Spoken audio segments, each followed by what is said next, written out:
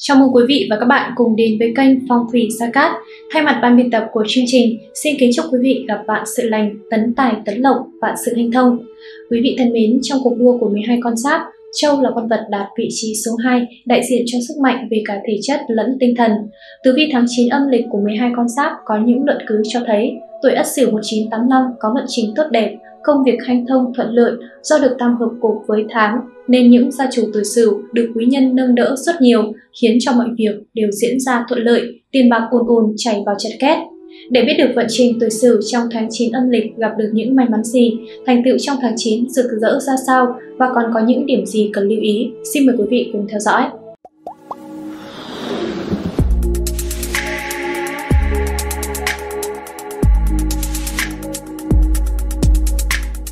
Sau đây là phần tổng quan của các gia chủ tuổi Ất Sửu sinh năm 1985 trong tháng 9 âm lịch năm 2022.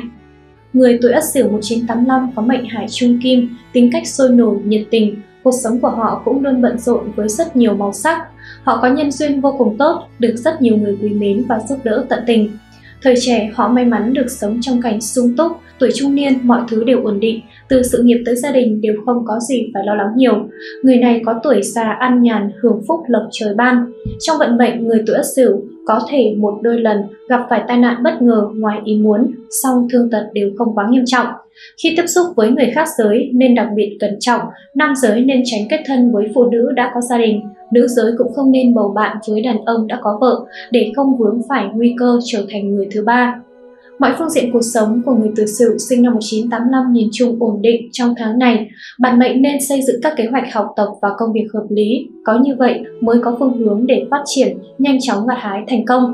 Trong chuyện tình cảm, người độc thân cần chủ động hơn nữa. Dù là nam hay nữ, một khi đã có thiện cảm với ai thì nên giữ quan hệ, chớ ngồi yên một chỗ chờ đợi duyên phận đến với mình. Người đã lập gia đình đào hoa vượng, bạn cần giữ chú ý khoảng cách với người khác, tránh để bản thân vướng vào chuyện thị phi gây ảnh hưởng đến hạnh phúc gia đình. Xét về thiên can, tất âm mộc gặp canh xương kim nên gọi là chính tài, nghĩa là bị thân khắc xuất. Trong tháng này, những gia chủ tuổi ất sửu cần chú ý nhiều tới vấn đề tài lộc của mình, tránh tham gia các trò đỏ đen dẫn tới thất tài không đáng có. Thứ nhất về sự nghiệp quan vận, sự nghiệp có nhiều bước đột phá đáng kể trong tháng 9 âm lịch, thậm chí có thời điểm đến chính bạn cũng phải bất ngờ với những gì mình đã làm được. Đặc biệt quý nhân vận khá vượng giúp bạn có thể làm đâu thằng đó, dù khó cũng sẽ có người nâng đỡ chỉ đường dẫn lối để tìm ra lối thoát. Ngoài ra bạn cũng nên dành thời gian nghiên cứu và phát triển kỹ năng chuyên môn, nâng cao nghiệp vụ của mình và nhớ là luôn giữ thái độ học hỏi, lắng nghe thì mọi việc diễn ra rất hành thông.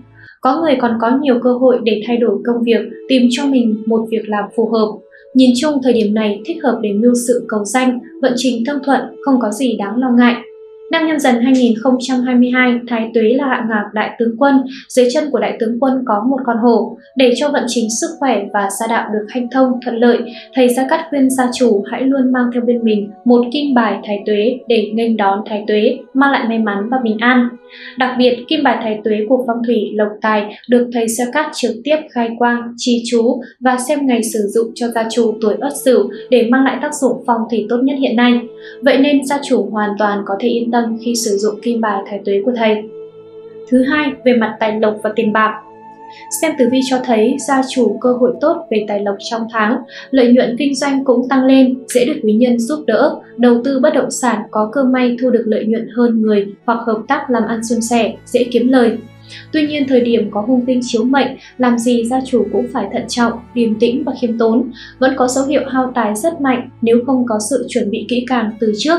Tiền có thể bị trộm mất, bị rơi mất, bị lừa mất, thậm chí là do bị phạt hay tiêu dùng cho việc khám chữa bệnh, mua sắm dịp cuối năm. Bạn có thể phung phí tiền bạc cho những thú vui hoang đàm, tự do rằng bản thân đang biết hưởng thụ cuộc sống nhưng thực chất lại chẳng hề quý trọng đầu tiền mà mình làm ra.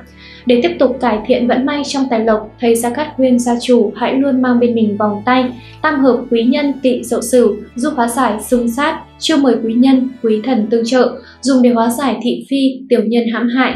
Khi những điều xấu không còn, điều tốt đẹp sẽ đến với bạn, từ đó tài lộc kéo đến ầm ầm, may mắn không gì bằng. Đặc biệt vòng tam hợp quý nhân cũng được thầy Gia Cát trực tiếp khai quang, chi chú và xem ngày giờ sử dụng cho các gia chủ để vật phẩm mang lại công năng phòng thủy tốt nhất. Thứ ba, về mặt sức khỏe, tình hình sức khỏe của Ất Sửu trong tháng nhìn chung là không có vấn đề gì đáng lo ngại. Bạn đang duy trì khá tốt lối sinh hoạt lành mạnh và khoa học nên thể chất được cải thiện khá rõ. Hãy tiếp tục duy trì thói quen rèn luyện thân thể này để tăng cường sức đề kháng. Một số nữ mạng ất sửu có ý định sinh con năm nay nên có kế hoạch và lộ trình tập luyện cũng như chăm sóc sức khỏe hợp lý để có tin vui hoặc là luôn khỏe mạnh suốt thai kỳ, sớm mẹ tròn con vuông. Các gia chủ tuổi Ất Sửu hãy luôn mang theo bên mình pháp khí phong thủy, bát bảo tâm kinh. Đây là vật phẩm phong thủy có tác dụng kỵ tà, hóa sát, đem lại may mắn, bình an và sức khỏe cho gia chủ. Để vật phẩm phát huy tác dụng tốt nhất, thầy Gia Cát sẽ khai quang, trì chú và xem ngày giờ sử dụng vật phẩm theo tuổi của các gia chủ tuổi Ất Sửu. Thứ tư, về mặt tình cảm, gia đạo. Tháng này, nhân duyên của tuổi Ất Sửu vượng sắc hơn, nhưng chủ về tốt cho các mối quan hệ xã hội hơn là tình cảm cá nhân. Con giáp này có cơ hội mở rộng mối quan hệ, quen biết nhiều hơn với nhiều người, thân thiết trong cuộc sống, lại vừa hữu ích cho phát triển sự nghiệp và tài chính.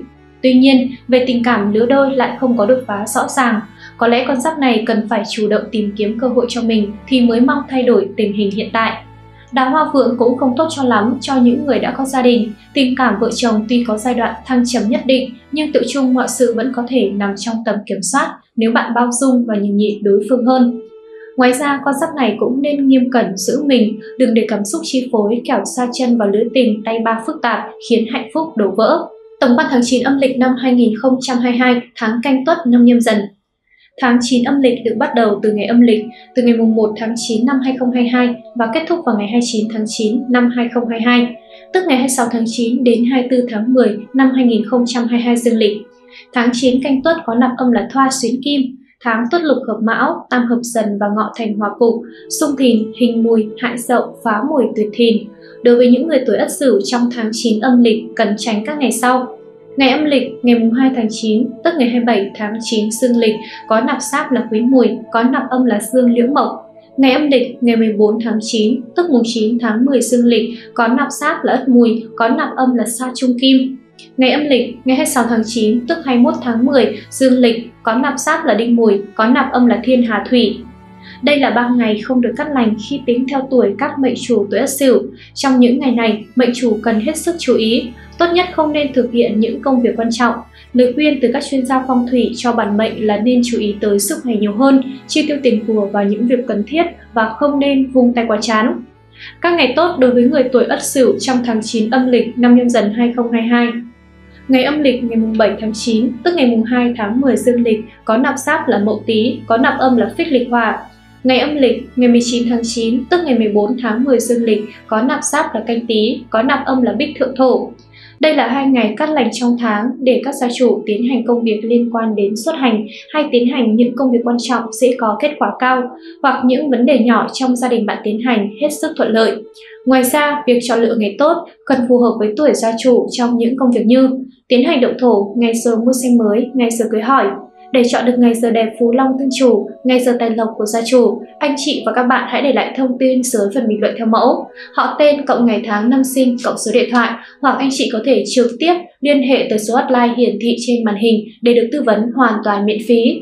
Thưa quý vị, vậy là chúng ta đã tìm hiểu xong về tử vi tuổi Ất Sửu trong tháng 9 âm lịch. Hy vọng thông qua những kiến thức này sẽ giúp quý vị có những hành trang vững chắc để bước vào tháng 9 âm lịch với nhiều thành công và may mắn. Cuộc sống đôi khi có những khó khăn là để thách thức chúng ta lớn lên, vậy nên quý vị đừng quá bi quan vào cuộc sống mà hãy vững bước tiến lên hoàn thành sứ mệnh của mình nhé. Rất cảm ơn quý vị và các bạn đã quan tâm theo dõi và đồng hành cùng chương trình trong suốt thời gian qua. Quý vị đừng quên đăng ký kênh là người đầu tiên nhận được những kiến thức bổ ích này. Còn bây giờ, xin chào và hẹn gặp lại quý vị trong những video tiếp theo.